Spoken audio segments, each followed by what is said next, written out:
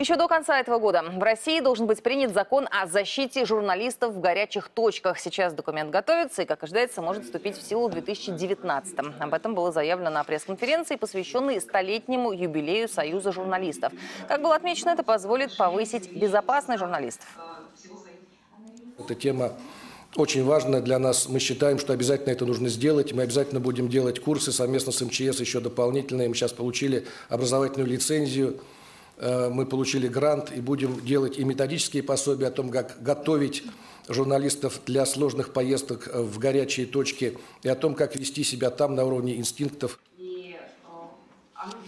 И сегодня же говорили о том, что совсем скоро станут известны первые обладатели почетного звания «Заслуженный журналист России». Его своим указом учредил Владимир Путин после соответствующей просьбы, прозвучавшей на встрече президента с сотрудниками СМИ. Звание будет присваиваться после 20 лет работы с учетом личных достижений. Напомню, ранее в России существовало более 60 почетных званий для заслуженных работников той или иной сферы, но специального для журналистов среди них не было.